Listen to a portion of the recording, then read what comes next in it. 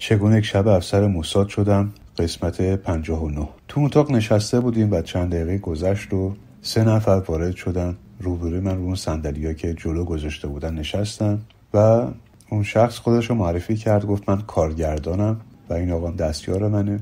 ما می‌خوام یک مستند از زندگی تو بسازیم. به عنوان افسر اطلاعاتی که تو ایران دستگیر شدی برای اولین بار ما می‌خوام یک مستند از زندگیت بسازیم. چیز زیادی هم نمی‌خواد. همون چیزایی که قبلا گفتی رو برای ما تعریف کن و اون سوالات ما رو جواب بده. وقتی من سوال می‌کنم به من نگاه نکن به اون طرف نگاه کن.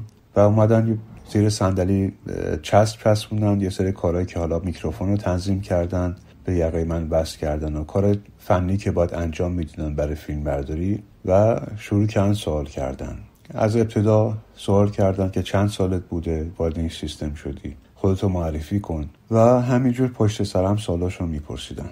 وسط اون سالا هم قطع می‌شد بازجوی خودم تو اتاق نشسته بود گوشه که دوربین نمیگرفتش. و هر از گاهی دستش رو چکون می‌داد که اینجا استاپ کن من همجا وای میستم هیچ دیگه نمی‌گفتم. بعضی موقع میومد تو گوشم یه چیزی می‌گفت می‌گفت در مورد این اصلا توضیح نده اینو اینجوری بگو.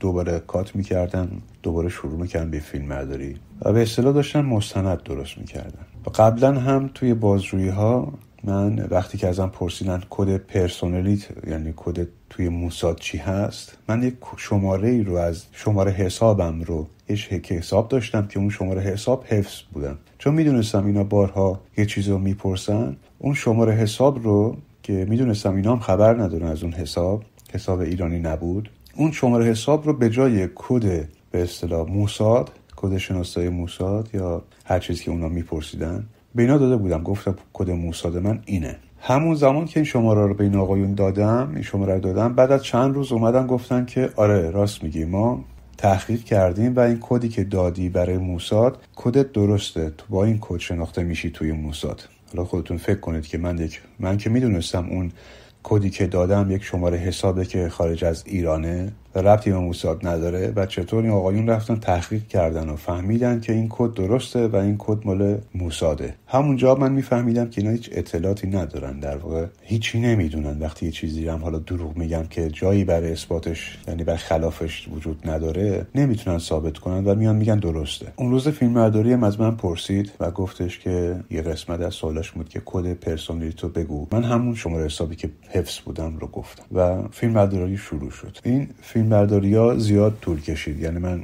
پشت سر هم نه مثلا یک هفته یا دو هفته طول می‌کشید تا فیلم بعدی دوباره دوباره می‌رفتم اونجا دوباره سوالات بعدی و همینجور با همین روش لباسامو عوض می‌کردن مرتب می‌کردن میذاشتن جلو دوربین. یه سری چیزا رو از قلب بازجو می‌گفت می‌گفت اینا رو بگو و یه چیزا رو هم می‌گفت اینا رو هم نگو. و خیلی مراقب بود. اونجا نشسته بود حواسش به من بود که یه جایی اونا یه سوالایی نکنن که من مجبور بشم جواب بدم. همونجا می‌گفت نگه دارید.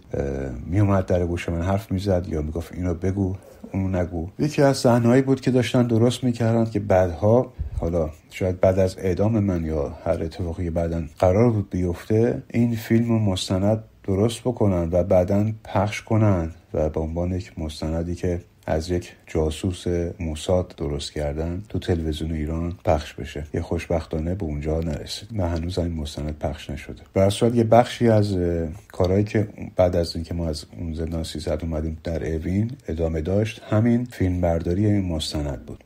و تا آخرش هم ضبط شد. یه روز دیگه هم منو بردن به اون خونه همون خونه و گفتن وزیر می‌خواد تو رو ببینه. یعنی وزیر اطلاعات اون زمان. منو بردن تو اتاق و تو یک اتاق روی به یک دیوار نشوندن و پشت من صندلی زیادی بود و افراد خیلی زیادی هم اومده بودن. خیلی شلوغ بود اون روز. و من یه جوری من نشوندن که من پشت سرمو دیگه نبینم. چشمان باز بود ولی پشتم رو دیگه نمی‌دیدم. گویا وزیر اطلاعاتم از پشت اومد و من صدای بلند شدن اینو از صندلی رو شنیدم و سلام حاج سلام حاج آقا بفرمایید اینجا نشستن و وزیر اطلاعاتم پشت سر من نشسته بود و صحبت نمی‌کرد. دو نفر هم انگار همراه این آقا آقای وزیر اومده بودن. اونا داشتن سوال می‌کردن. و چند تا سوال از من پرسید که من نتونستم جواب مثلا اسم یک بمب رو آورد.